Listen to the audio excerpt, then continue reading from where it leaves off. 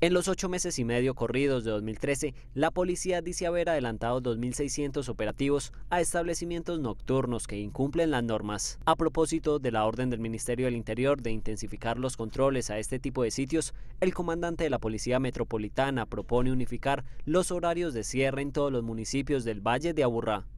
Lo que queremos es efectivamente lograr una optimización de todo el trabajo que puede hacer la Policía Nacional con un cierre unificado de establecimientos en todos los 10 municipios del área metropolitana. Eso lo hemos venido charlando con las administraciones y estamos a punto de, de, lograr que efectivamente se dé. La circular expedida por el Ministerio del Interior da plazo de un mes a los alcaldes para adelantar operativos para el control, sellamiento y sanción de los establecimientos comerciales que incumplan las medidas mínimas de seguridad o que estén modificando su uso comercial. Cuando se hacen estos controles y empiezan a cerrarse, cambian la razón social y de un momento para otro aparece la palabrita club.